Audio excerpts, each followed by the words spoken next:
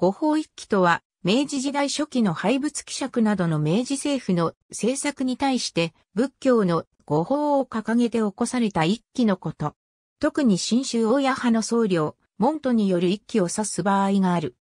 新政府による廃仏希釈、新東国教家の動きに対して仏教の僧侶、信者の間でこれに抵抗する動きが発生した。中には一気に訴える者もおり、実際に発生した一揆及び未遂事件の中には、新州大家派の者が多く含まれていたことから、同派との関係で研究されることが多い。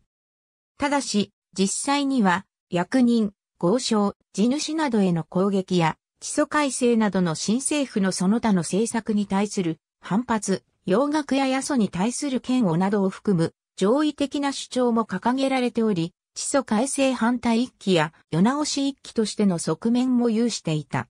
五法一揆、またはその未遂事件は10件ほど知られており、それは明治3年から明治6年の間に集中している。